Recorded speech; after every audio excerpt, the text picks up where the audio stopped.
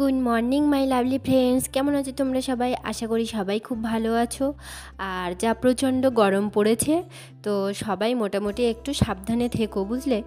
আর দেখো, সকালবেলা এখন আমি সবজি কাটবো। তো তার জন্য যেগুলো আমি করি, পটল কাটলে আমি পটলটা ভিজিয়ে রাখি, তো সেটা এখন ভিজিয়ে রেখে দিচ্ছি। আর শাকটাও ভিজিয়ে দেব। বুঝলে তো? কালকে শাকটা ধুয়ে রেখেছিলাম, তো পাতাগুলো একটু হলুদ হলুদ হয়ে গেছে। এই কলমি শাকের পাতাগুলো। তো এইগুলো আমি এখন বেশ কিছুক্ষণ ভিজিয়ে রেখে দেব, দিয়ে আমি অন্য কাজগুলো করে নেব। আর এখন বাজছে ঘড়িতে ঠিক সকাল সাতটা। আর আমি তোমাদের সঙ্গে নিয়ে আমি আমার ব্লগটা স্টার্ট করে দিলাম। আর যারা আমার বয়সে বড় বড় তাদের আমার প্রণাম। আর যারা আমার বয়সে ছোট বা আমার সমবয়স্ক তাদের আমার আন্তরিক ভালোবাসা জানিয়ে আজকে আমি আমার ব্লগটা শুরু করে দিলাম। তো আজকে হচ্ছে মাসের প্রথম একটা মাস দেখো কীভাবে শেষ হয়ে গেল। তো আজ হচ্ছে মাসের প্রথম। তো প্রথম দিনটা দেখো কি প্রচণ্ড গরমের মধ্য দিয়ে কাটছে, জানো তো? রাত্রে না একটুও আর ঘুম হচ্ছে না। কারণ মেঝেতে শুচ্ছি, তাও মেঝে দিয়ে মানে মনে হচ্ছে একটা আগুন উঠছে, এত পরিমাণে গরম উঠছে। আর দু তিনবার করে মেঝেটা মুছছি, তাও গরমটা যাচ্ছে না। তো যাই হোক, গরম আমার একার না, সবারই লাগছে। আর দিন দিন মনে হয় গরমের পরিমাণটাই বাড়বে। কারণ গ্লোবাল ওয়ার্মিং যে হারে বাড়ছে, তাতে করে গরমটা বাড়বে। আর সেটা আস্তে আস্তে আমাদের সহ্য হয়ে যাবে। মানুষ হচ্ছে সহনশীল প্রাণী। কারণ সব কিছুই সহ্য করে মানিয়ে নেওয়ার ক্ষমতা মনে হয় মানুষেরই রাখে। তো আস্তে আস্তে আমাদেরও সহ্য হয়ে যাবে। তো বন্ধুরা, এখন কিন্তু চা পান করতে বসে গেছি। আজকে কিন্তু আর চা খাওয়া বলেনি, চা পান করব বলেছি। তো যাই হোক, আস্তে আস্তে বলা অভ্যাস করতে হবে। তো এটা বলা মনে হয় অতটা সহজ না যে যেমন জল খাব। জল পান করব তো বলাই যায় না। তো কিছু অভ্যাস মনে হয় ত্যাগ করা ঠিক না। থাকুক, না আছে থাকুক। তো সোনা একটু পড়ছে, সোনাকে ডাকছি।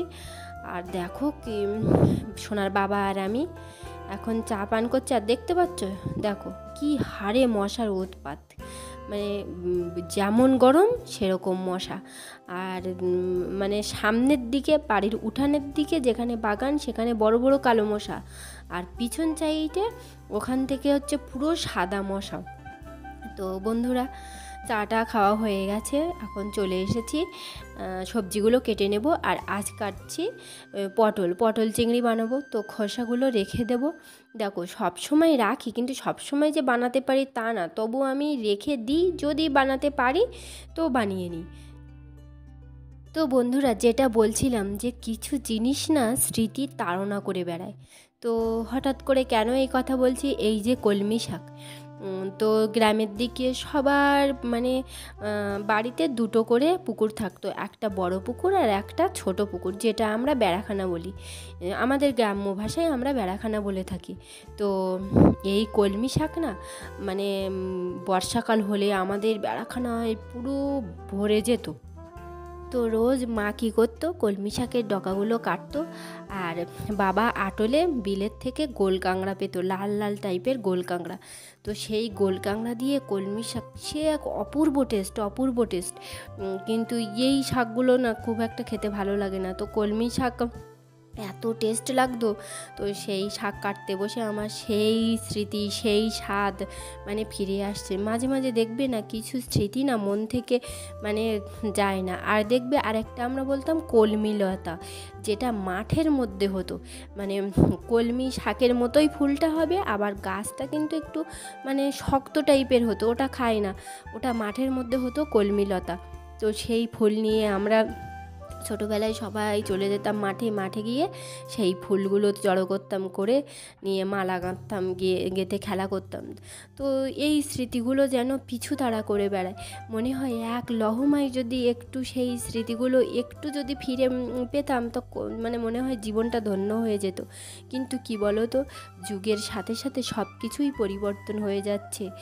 যেমন প্রকৃতি পরিবেশ পরিবর্তন হচ্ছে, তেমনি মন মানসিকতা পরিবর্তন হচ্ছে, সমাজ সব কিছুই যেন পরিবর্তন হয়ে যাচ্ছে। আর গ্রামটা না, আর আগের মতো গ্রাম নেই। মানে প্রাকৃতিক দুর্যোগে গ্রামটার অন্য রূপ দিয়ে দিচ্ছে। প্রতি বছর বছর সাইক্লোন যার ফলে মানে আগে আমরা যখন মানে ছোটোবেলার কথা বলছি মানে একজনের বাড়ি ঢুকতে গেলে ভয় পেতাম। এত পরিমাণে গাছগাছালি দিয়ে আটকানো থাকতো। আর কি গাছ না নেই কার বাড়ি? ফলের গাছ, আম, কাঁঠাল, পেয়ারা, জাম, জামরুল মানে সবার গাছে। সবার বাড়ি গাছগাছালি ভর্তি থাকবে। আর আম তো, আম, কলা সবার বাড়ি তো থাকবেই। আর একটা গাছ সবার বাড়ি থাকতো, সেটা হচ্ছে শিরিষ গাছ বলি আমরা। এই শিরিষ গাছ। তো সবাই দেখতাম শিরিষ গাছ দিয়ে মানে খাট, চৌকি খাট বানাতো। আমাদের গ্রামের দিকে অত পালঙ্কের ইউজ ছিল না। দেখবে যারা শিরিষ গাছ চেনো, তারা দেখবে শিরিষ গাছে না এই গরমকালের টাইমে বিশেষ করে মানে লাল লাল ফুল হতো। সে এক অপ মানে ফুলটা একটু নরম টাইপের কিন্তু সে এক অপূর্ব সুন্দর ফুল। মানে দারুণ লাগতো দারুণ লাগতো। তো আমরা সবাই জড়ো করতাম। আর শিরিষ গাছে বিরাট আকৃতির গাছ, বিরাট বড় বৃক্ষ মানে পুরো কতটা জায়গা জুড়ে যে ও ছায়া করতো তার ঠিক নেই। তো সবার বাড়ি ওরকম দু চারটে থাকতো।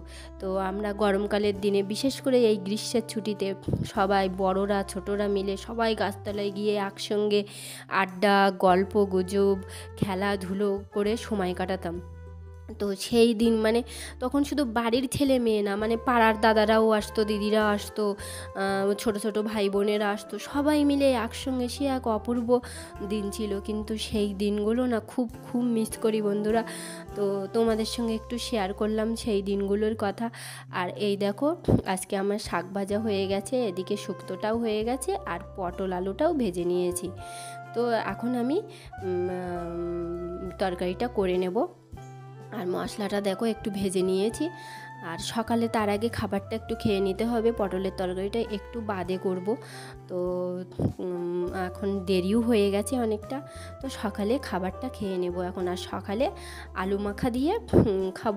আর তো জানো, একটু আলু মাখায় যদি একটু পেঁয়াজ লঙ্কা ভাজা থাকে তো সে এক অপূর্ব টেস্ট তো বন্ধুরা, যেটা বলছিলাম যে পূর্বের স্মৃতি চালনা করতে কার না ভালো লাগে বলো?